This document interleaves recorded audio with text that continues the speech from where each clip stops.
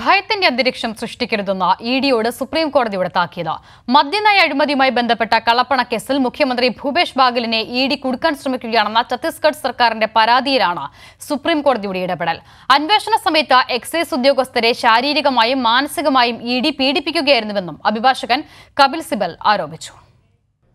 സർക്കാരിനെ കള്ളക്കേസിൽ കുടുക്കാൻ E D നിയന്ത്രണം വിട്ട് പ്രവർത്തിക്കുകയാണെന്ന് സർക്കാരിന് വേണ്ടി ഹാജരായ മുതിർന്ന അഭിഭാഷകൻ കപിൽ സിബിൽ സുപ്രീം കോടതിയിൽ അറിയിച്ചത്. അന്വേഷണ സമയത്ത് എക്സൈസ് ഉദ്യോഗസ്ഥന്മാരെ ശാരീരികമായും മാനസികമായും ഇ ഡി പീഡിപ്പിക്കുകയായിരുന്നുവെന്നും സിബിൽ ആരോപിച്ചു.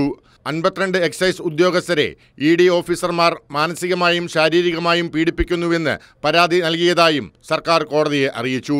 അതേസമയം ഇ ഡി അവരുടെ ജോലി നിർവഹിക്കുക മാത്രമാണ് ചെയ്യുന്നതെന്നും അഴിമതിയിൽ അന്വേഷണം നടത്തേണ്ടത് ഇ ഡിയുടെ ഉത്തരവാദിത്തമാണെന്നും എൻഫോഴ്സ്മെന്റ് ഡയറക്ടറേറ്റിനു വേണ്ടി ഹാജരായ അഭിഭാഷകൻ ചൂണ്ടിക്കാട്ടി. സർക്കാർ ഉയർത്തിയ ആരോപണങ്ങളിൽ മേലാണ് സുപ്രീം കോടതിയുടെ ഇടപെടലുണ്ടായത്. ഭയത്തിന്റെ അന്തരീക്ഷം സൃഷ്ടിക്കരുതെന്നും ഇ ഡിക്ക് സുപ്രീം കോടതി താക്കീത് നൽകി. മദ്യനയ അഴിമതിയുമായി ബന്ധപ്പെട്ട കള്ളപ്പണക്കേസിൽ മുഖ്യമന്ത്രിയെ കുടുക്കാൻ ശ്രമിക്കുകയാണെന്ന ഛത്തീസ്ഗഡ് സർക്കാരിന്റെ പരാതിയിലാണ് സുപ്രീംകോടതിയുടെ ഇടപെടൽ. കൈരളി ന്യൂസ് ദില്ലി.